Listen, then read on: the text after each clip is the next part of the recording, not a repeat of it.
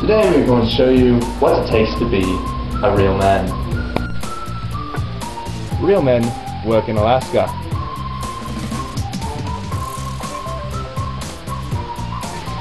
Real men lift big barbells. Real men grow beards.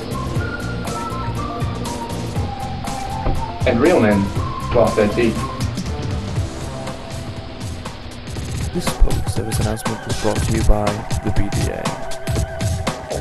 It's a man's life in the British Dental Association.